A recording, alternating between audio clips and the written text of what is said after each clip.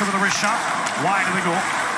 Jordie Benn, hard hit on Radulov as he sent him to the ice just inside the line. Now he's being challenged to a fight by Gurianov.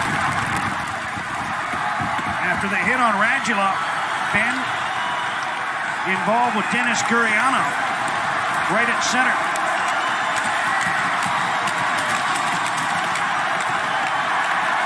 Oh. Got the right hand loose.